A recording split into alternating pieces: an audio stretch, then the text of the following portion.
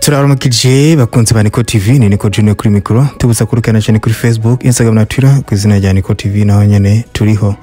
Uh, uno munsi uh, tufise inkuru ibabaje.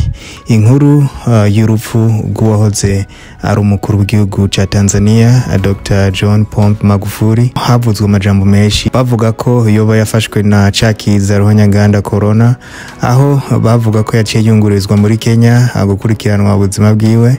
Abandi bakavuga ngo ageze mu buhinde. Ariko kuri uno mwanya ibinyamakuru biriko biremeza ko uh, dr. John pombe magufuli yamaze gusezera isi yamaze kwitaba imana. Tumempoteza kiongozi wetu shupavu, Rais wa Jamhuri ya Muungano wa Tanzania, Mheshimiwa Dr. John Pombe Joseph Magufuli.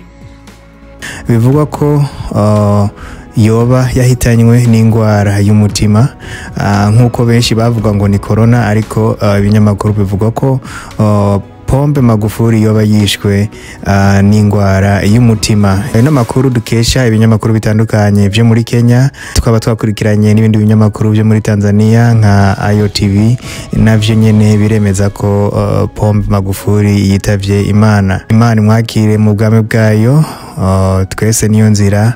Turabashimiye kandi mwese mwakomeje kudukurikirana. Uh, tubibutsa kandi ko uh, uko tumenya inkuru zikurikira tuzozibashikiriza hano. Murakoze eh, tuzosubira ubutaha. Babaye